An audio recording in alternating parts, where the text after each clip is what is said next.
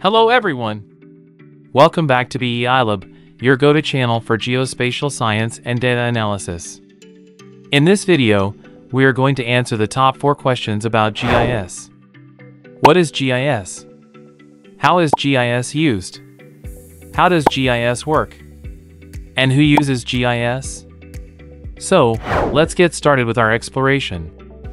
In GIS, G stands for geography, which is the study of land, inhabitants, and objects on the surface of the Earth. The I represents information, focusing on the details of features on the Earth's surface. Think of it as the specifics, like the name of a building. Lastly, S stands for system, incorporating technology and methods. It's the system that captures objects on Earth's surface and seamlessly integrates them with the gathered information. As such, we can define GIS as a spatial system that creates, manages, analyzes, and maps all types of data. GIS connects data to a map, integrating location data, where things are, with all types of descriptive information, what things are like there. This provides a foundation for mapping and analysis that is used in science and almost every industry. GIS helps users understand patterns, relationships, and geographic context. The benefits include improved communication and efficiency as well as better management and decision making. Now, may you ask how GIS is used? There are several organizations such as environmental conservation, urban planning, epidemiology, and emergency response, and a wide range of organizations in virtually every field are using GIS to make maps that communicate, perform analysis, share information, and solve complex problems around the world. This is changing the way the world works. Curious about how GIS works?